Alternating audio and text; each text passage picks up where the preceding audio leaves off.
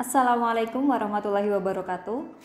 Pemirsa Hidayatona di seluruh Indonesia, perkenalkan saya Siti Fatona. Kembali lagi dalam Hasanah Hidayatona menyajikan berbagai fakta, pemikiran, pendapat, dan pandangan keislaman yang bermanfaat. Hidayatuna memperdalam syariah, menguatkan akidah, menebar rahmah.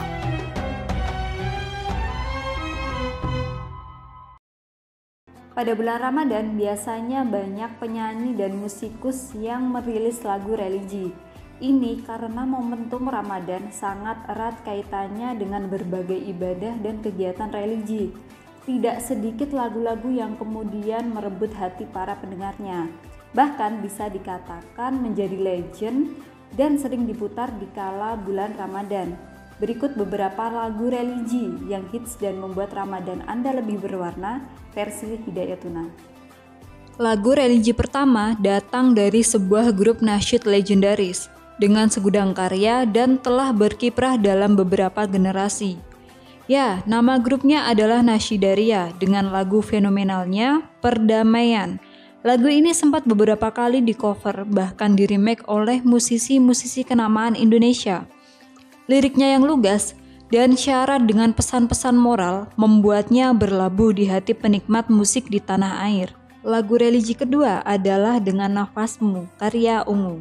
Lagu ini merupakan buah pergolakan batin dengan Yang Maha Kuasa, yang memberikan nafas sehingga dapat terus berkarya. Enda, sang pencipta lagu dan gitaris Ungu, mengatakan ketika didera berbagai masalah akhirnya menemukan jika nafaslah yang paling berarti. Lanjut lagu religi yang ketiga. Masih dari grup band kenamaan bahkan dikenal sering merilis lagu-lagu religi. Lagu itu adalah Pintu Surga yang dibawakan oleh Ginggi. Digawangi oleh vokalis Arman Maulana yang membawakan lagu ini dengan penuh penghayatan. Sesuai dengan judulnya, lagu ini bercerita tentang pencarian dan pengembaraan menemukan pintu surga Selain itu juga dengan pengharapan agar diizinkan oleh Yang Maha Kuasa untuk memasuki surga.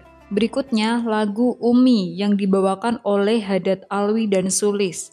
Tentu sahabat Hidayatuna tidak asing dengan lagu ini. Di antara pendengar lagu religi ini tentu memiliki kenangan tersendiri, khususnya kepada ibu tercinta sebab memang lagu ini menceritakan tentang kerinduan dan kecintaan kepada ibu yang telah memberikan segala kasih sayangnya kepada kita. Semoga pemirsa Hidayatuna senantiasa dapat terus berbakti kepada ibu dan berkesempatan untuk membahagiakannya, mengingat jasa-jasanya yang sangat besar dan tidak mungkin mampu terbalaskan. Lagu religi selanjutnya berasal dari musisi legend Indonesia yaitu Bimbo yang berjudul Sajadah Panjang. Grup musik asal Bandung ini menghiasi industri musik tanah air dengan lagu puitis dan lagu religius, bahkan sangat melekat dengan tema-tema lagu yang bernafas islami. Melalui lagu Sajarah Panjang, Bimbo membawa kita larut dalam penghayatan sebagai seorang hamba yang tunduk dan khusyuk menyembah Allah yang Maha Kuasa.